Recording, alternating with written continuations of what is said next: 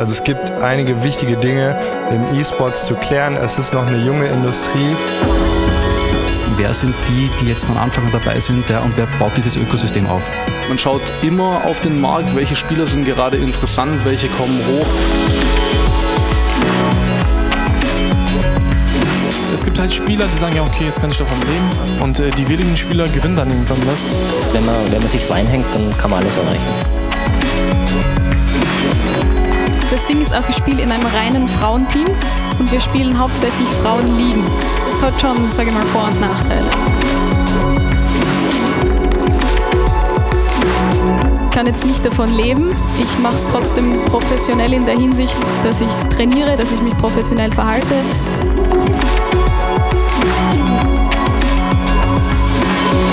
Wir haben unsere ersten Events in Kinos gemacht. In Berlin am Kubix Kino am Alexanderplatz, da waren 300 Leute, haben das erste FIFA-Event gemacht.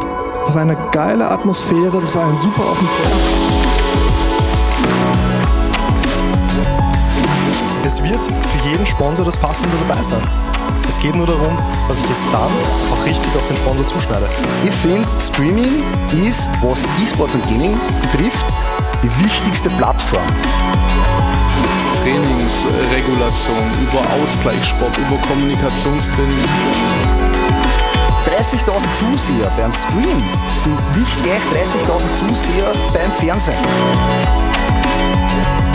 Ich kann aber ja. sagen, das sind alles höfliche Leute. Mario. Ja.